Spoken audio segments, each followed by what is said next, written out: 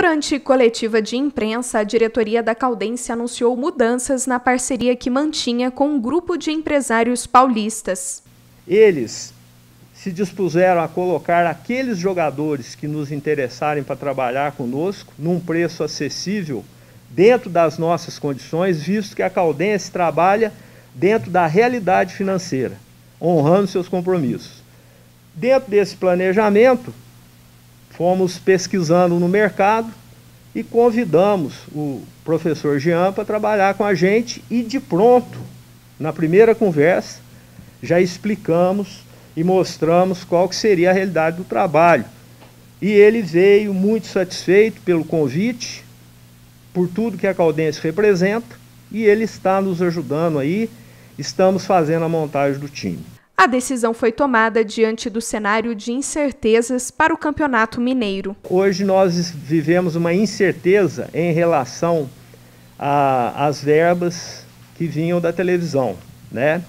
Então nós estamos ligando direto lá na federação, eles estão fazendo o trabalho deles, mas ainda não temos nada definido. Existem é, valores que ah, vai ser metade a Globo, outra hora não vai, quer dizer, definido, a não ser que terminemos a, a reunião e a gente receba uma ligação, ó, oh, está resolvido. Mas até este momento, nós não temos nada definido.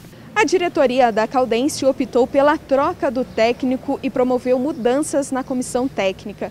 O nome escolhido para comandar a veterana na temporada 2021 é Jean Rodrigues, que fará sua segunda passagem pelo clube Poços Caldense. Chegada minha na Caldense a primeira vez, é logicamente que é muito difícil, né, cara? Quando você chega, quando o time é, é vice-campeão, podia ter sido campeão. Ó, me arrepia até. E invicto eu torci muito, cara. Mas até essa equipe que foi vice-campeão teve dificuldade durante a competição. Não foi um campeonato fácil. O campeonato que eu fiz é um campeonato difícil também, mas você sair é, de um campeonato que você deixa o time classificado para dois anos de Série D e para a Copa do Brasil, creio que, não, que, que foi um trabalho né, satisfatório. Mas é, é, é inerente ao futebol a comparação. Apesar das dificuldades financeiras, o técnico está disposto a conquistar bons resultados com a equipe. A gente não pode tirar a responsabilidade da gente por causa disso. Essa dificuldade não vai ser só da Caldense.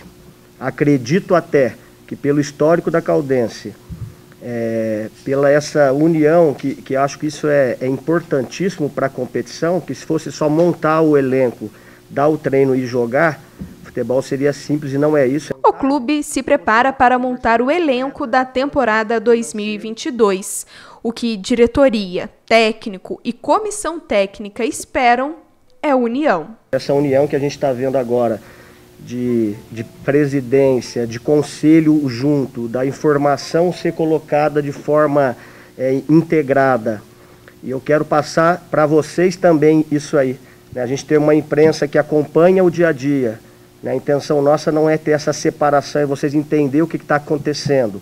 A gente tem essa comunicação para, para, para que a cidade também é, é, acompanhe, entenda e venha junto com a gente. Para aí sim a gente fazer uma caldense forte.